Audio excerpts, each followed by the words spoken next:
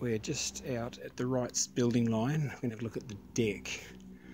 The deck's an older deck. It's got like a girder style steel brace. But there's a few things we'll just cover quickly.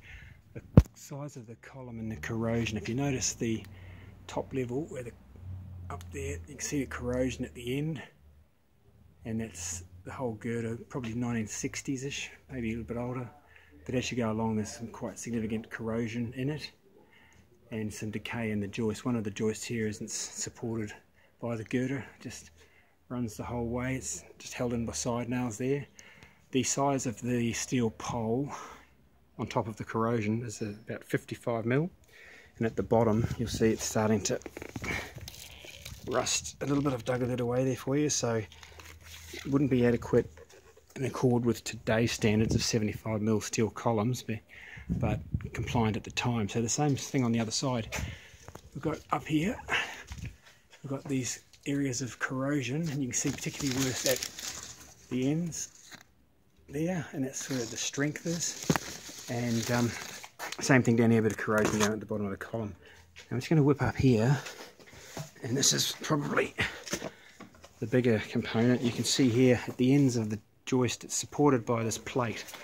The plate I've got my hand on runs along, it gets bolted in and then perpendicular the joist gets, fi fixed onto it.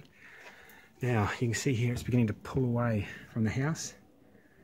Not a good sign because all the weight is going down onto that stuff that fails it'd be deck failure, joist dropping. So what I think might be happening is you see just there you've got a coach screw or a screw fixing just there and that's what the deck gets the plate gets fixed to now the next one along is 1.4 meters which is far too long. So there might be, what I can see, but the pipe might be concealing some fixings, so I'm only going with what I can see.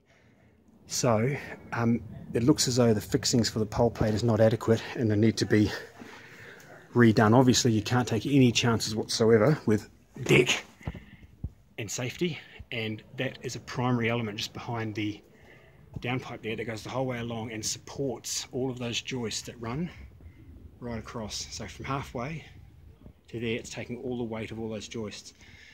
And it looks as though it's not fixed adequately. So that's going to be called a major defect as with the condition of the deck in general